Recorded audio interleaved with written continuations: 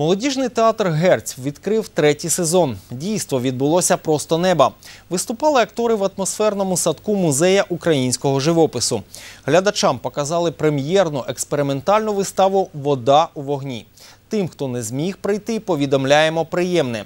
Цьогоріч театр проводить відкриття сезону у три етапи. Тож у зацікавлених та у прихильників є шанси побачити виступи талановитих акторів ще 4 та 9 вересня. Де саме слідкуйте через соціальні мережі, шукайте сторінку театру Герць.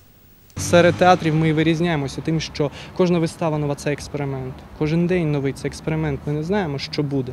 Наш репертуар він міняється повсякчас. І від глядачів повністю, бо ми віддаємо певний потік своїх емоцій, своїх сюжетів, так? свої вистави на. Не тільки на розсуд, да, не тільки на розум, а й на серце глядачів. І від них багато залежить, яка буде сьогодні вистава. Я дуже люблю цей театр. Я вважаю, що актори, які грають в цьому театрі, є е, дуже талановитими. Е, Режисер також е, є дуже талановитим Данило Слюсар.